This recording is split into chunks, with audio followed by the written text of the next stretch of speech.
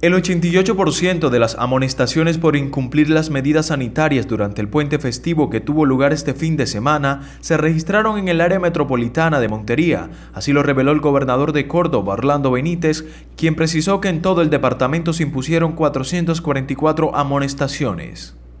Y es que en esta área precisamente, Montería, Cereté, San Pelayo, Ciénaga de Oro y San Carlos, es donde se concentran más el número de amonestaciones. Yo revisaba el dato que nos presenta el coronel. De esas 444, 391 se dieron en el área metropolitana.